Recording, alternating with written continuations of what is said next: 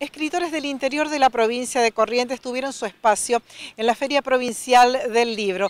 Tal el caso de Hilda Sarto con su libro Te canto Chereta, presentado por Pilar Muñoz de Romano. Eh, le vamos a mostrar algo muy importante, como es un nuevo libro de literatura regional, de literatura nuestra.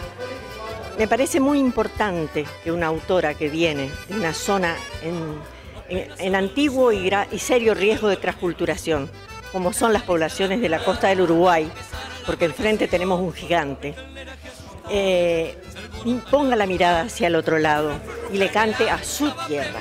Te canto, Chereta, se llama el poemario, te canto, mi tierra. ¿Qué significa estar en esta feria del libro, Hilda Sarto?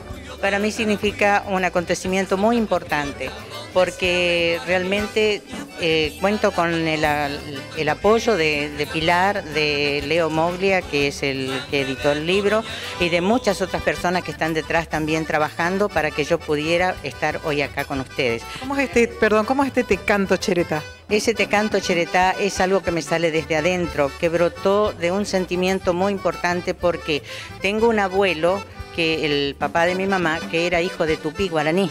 Entonces llevo en la sangre yo ese aborigen, lo tengo dentro. Entonces me fluye la palabra.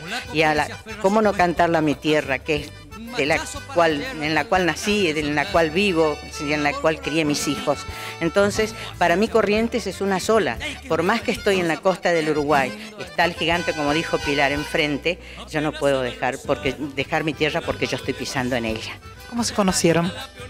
Nos conocimos porque Pastor de los Libres organizaba unos muy valiosos e importantes congresos de literatura correntina en las cuales la señora Hilda Zulema Sarto, nuestra autora de hoy, participaba eh, con mucho éxito, con mucho esfuerzo en épocas de Ramón Blanco, Ramón Alfredo Blanco, que era entonces director de cultura, y ella en la SADE.